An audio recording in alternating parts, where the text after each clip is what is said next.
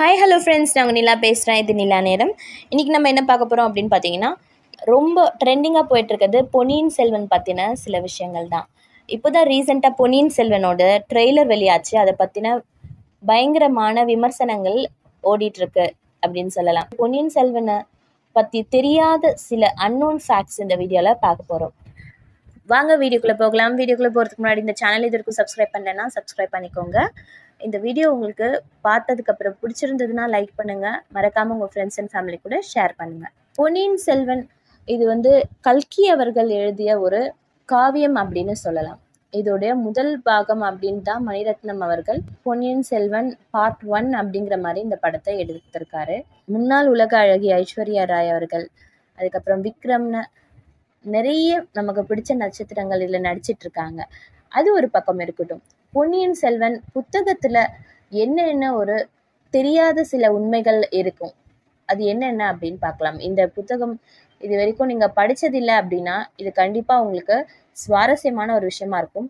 ஏற்கனவே படிச்சிருக்கீங்க இந்த புக்கை அப்படின்னாலும் நான் சொல்கிறது கரெக்டான கேட்டு கன்ஃபார்ம் பண்ணுங்கள் கமெண்ட்ஸில் பொன்னியின் செல்வன் இந்த புக்கு ராஜராஜ சோழன் அவர்களை பற்றின கதை அப்படின்னு சொன்னாலும் இதை எழுதிய கல்கி அவர்கள் வந்து ரொம்ப அதிகமான இம்பார்ட்டன்ஸ் யார் கொடுத்துருக்காரு அப்படின்னு பார்த்தீங்கன்னா வந்தியத்தேவன் அப்படிங்கிற கேரக்டருக்கு தான். அவரே இதை அழகாக ஒரு இடத்துல மென்ஷன் பண்ணியிருக்காரு. நம்ம கதையுடைய முக்கிய ஹீரோ வந்தியத்தேவன் அப்படின்னு. கல்கி அவர்கள் எவ்வளவோ வழியில் அழகான ஒரு சந்தோஷமான ஹாப்பியான கன்க்ளூஷனான ஃபைனல் எபிசோட கொடுத்துருக்கலாம் அப்படின்னாலும் அவர் ஃபைனல் எபிசோடில் இந்த புத்தகத்தை பொறுத்த வரைக்கும் ரொம்ப சோகமான வருந்தத்தக்க ஒரு முடிவை கொடுத்துருக்காரு. அதாவது மணிமேகலையோட இறப்பு வந்தியத்தேவனோட கையில் நடந்ததாக கொடுத்துருப்பாரு. அது மட்டும் இல்லாமல் மணிமேகலையோட காதல் வந்து எவ்வளோ பரிசுத்தமானது. அது வந்து கடைசியில் இப்படி ஒரு சோகமான முடிவை தழுவிச்சு அப்படிங்கிற மாதிரி படிக்கிறவங்களுடைய இதயத்தையும் அப்படியே மெல்ட் பண்ணுற அளவுக்கு இந்த கதையை எழுதியிருப்பாரு கடைசி எபிசோடில் இன்னொரு ஒரு சுவாரஸ்யமான தகவல் சொல்லட்டுங்களா?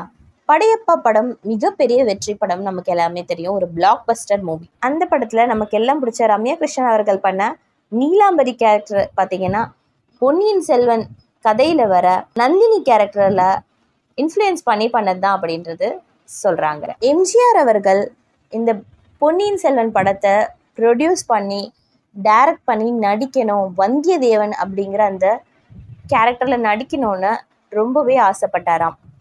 ஆனால் அன்ஃபார்ச்சுனேட்டாக அவரால் இந்த படத்தில் நடிக்க முடியாமல் போயிடுச்சு. அந்த நேரத்தில் அவருக்கு ஒரு சின்ன ஆக்சிடென்ட் நடந்ததுனால இந்த படம் அவருக்கு பண்ண முடியாமல் போச்சு அப்படின்னு சொல்கிறாங்க பொன்னியின் செல்வன் இந்த புத்தகம் இங்கிலீஷ்லேயும் டிரான்ஸ்லேட் பண்ணியிருக்காங்களாம். அதனால் பல பேரால் இதை படிக்கக்கூடிய அளவுக்கு ரொம்ப சிறப்பான ஒரு விஷயம் இது அப்படின்னு சொல்லலாம்.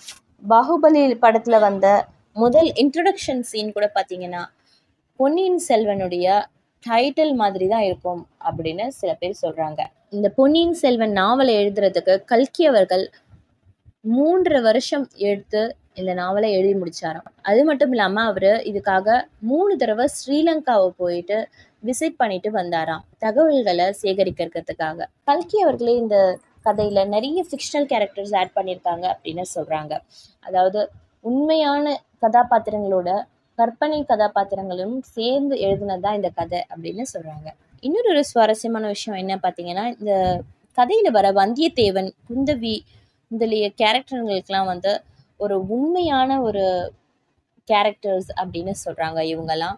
ஸோ அவங்கள பற்றின பல தகவல்கள் தஞ்சாவூர் பெரிய கோவிலில் செதுக்கி இருக்காங்க அப்படின்னு சொல்கிறாங்க இந்த கதையில் வர அருள்மொழிவர்மன் அப்படிங்கிற ராஜராஜ சோழன் அவர்கள் ஸ்ரீலங்காவுக்கு படையெடுத்து போயிருக்காராம்.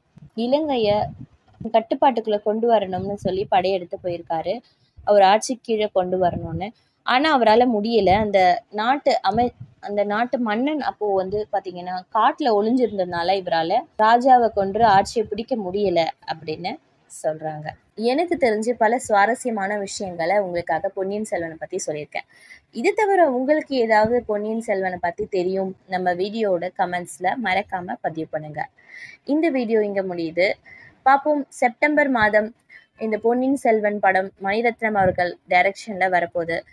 ஓகே ஃப்ரெண்ட்ஸ் இந்த வீடியோ இங்கே முடியுது. இது போல் இன்னொரு ஒரு சுவாரஸ்யமான மற்றொரு வீடியோவில் உங்களை நான் சந்திக்கிறேன். And then thank you bye bye and take care மறக்காம சேனலை சப்ஸ்கிரைப் பண்ணிடுங்க.